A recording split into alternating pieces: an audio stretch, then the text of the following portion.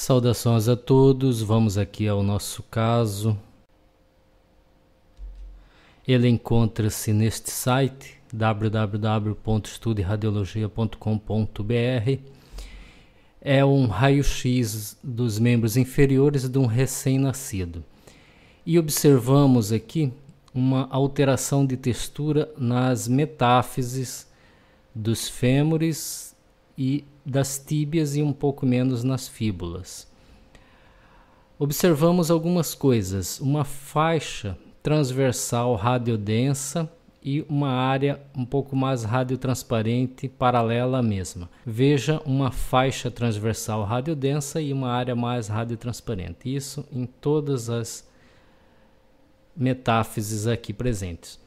E outra coisa que chama muita atenção são linhas longitudinais radiodensas alternadas com faixas radiotransparentes.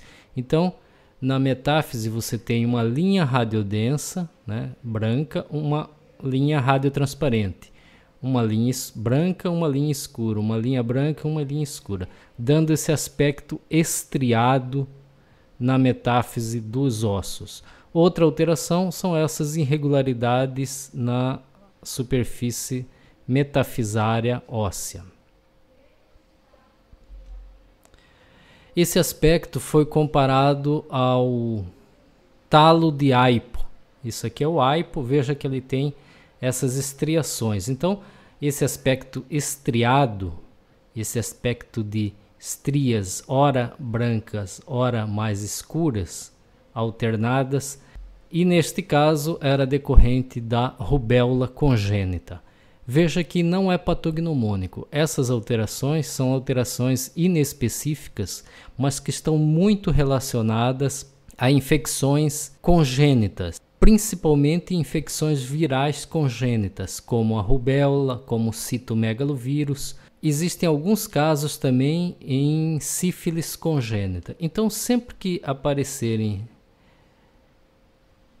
sempre que aparecer esse tipo de alteração, seja essas linhas radiodensas alternada com linhas escuras no sentido longitudinal do osso nas metáfises, seja essas bandas metafisárias transversais mais densas alternada com bandas mais escuras, tem que ser pensado na possibilidade de uma infecção congênita.